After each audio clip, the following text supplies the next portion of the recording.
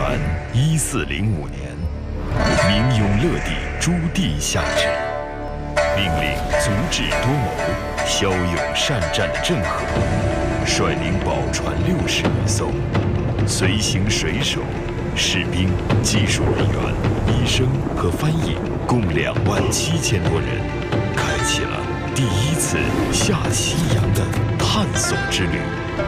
但鲜为人知的是，在这段伟大的航程之中，还有着这样的一群男人，他们天赋异禀，拥有特殊的身份和神秘的力量，他们肩负着传播中华文化的重任，他们就是未被史料记载的传说中的星星的主人。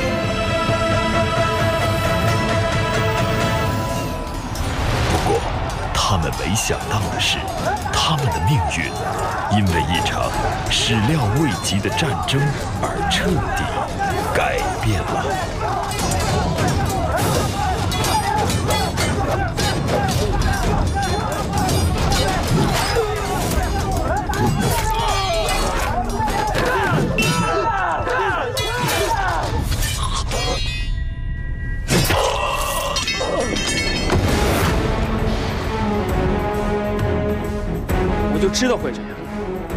在这条破船上，所有星星的主人都在这儿。我告诉你了，咱都别冲动啊，咱们都是星星的主人啊，有话好好商量，行不行？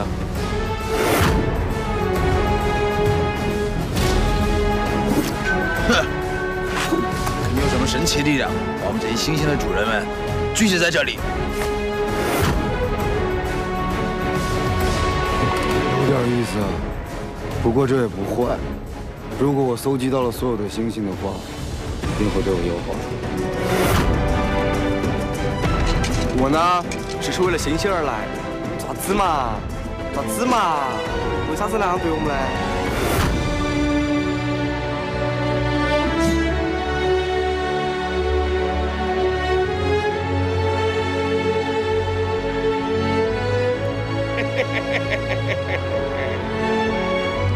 既然星星的主人都已经凑齐了，就让我们一决胜负吧！我们来，我来，走来！这么粗的刀就让我来吧！你去吧，赶紧！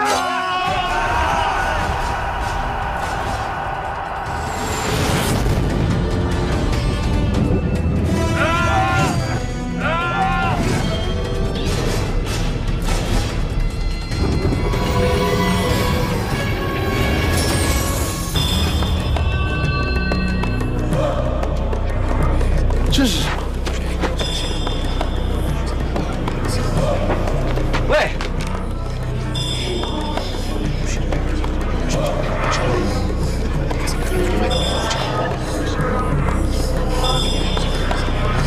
好像有很奇怪的语言。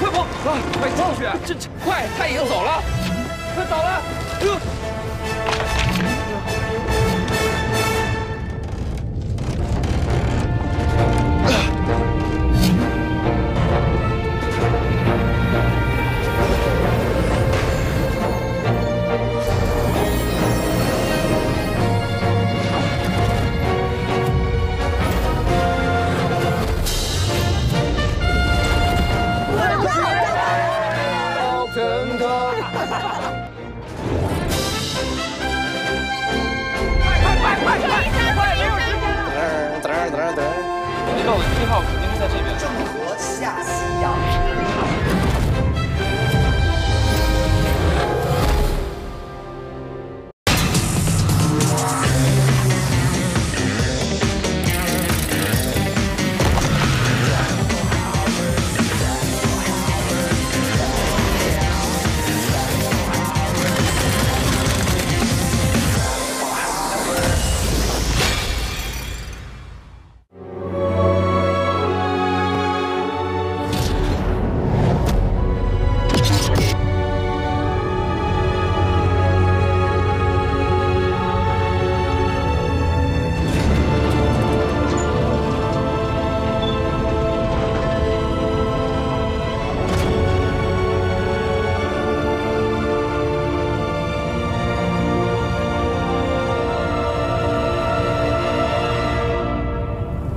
哪里呀？哎，你们怎么？你怎么长这么丑啊？啊？这是哪儿啊？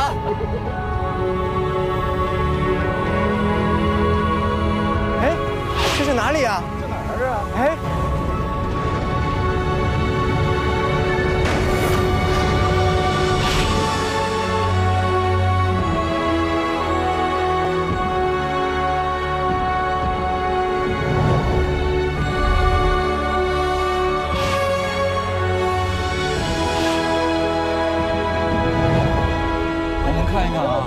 我们随便一到，哎，那个房子，那个是房子吗？还是盒子？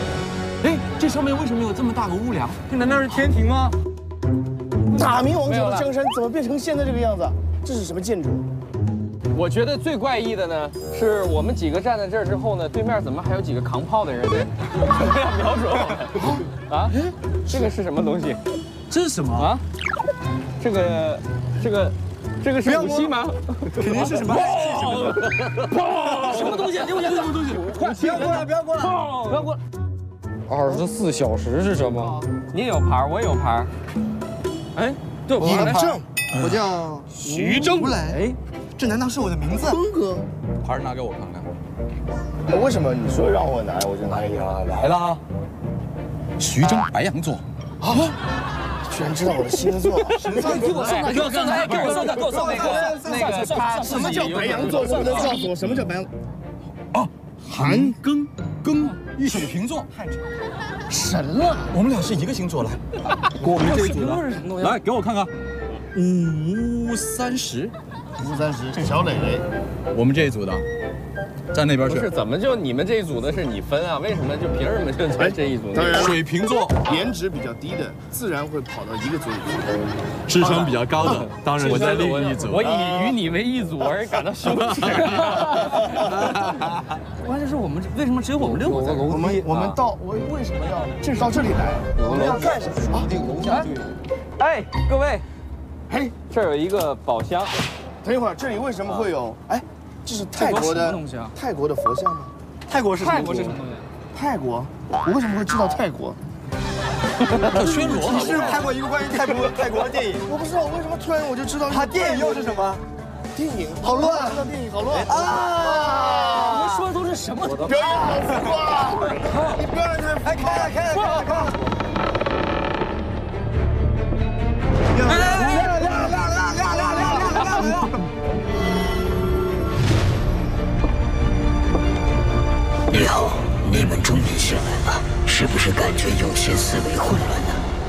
感觉有些思维混乱呢？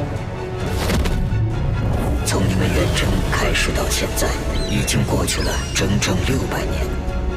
现在是公元二零一六年。我的妈呀！我的初恋女朋友呢？可怕的是，你们已经失去了所有的记忆，甚至连自己的身份都忘记了。如果你们想找回记忆，回到六百年前的话，就必须找到散落在世界各地拥有特殊功能的星星。在你们当中就有星星的主人，你们只有找到这个星星的主人，才能获得那些神秘的星星。但是寻找星星的使命一旦开始，留给你们的时间就只有二十四四小时里，你们必须找出星星的主人，获得他们所对应的星星。还有从六百年前和你们一起过来的客人，叫醒他们，一起去冒险吧。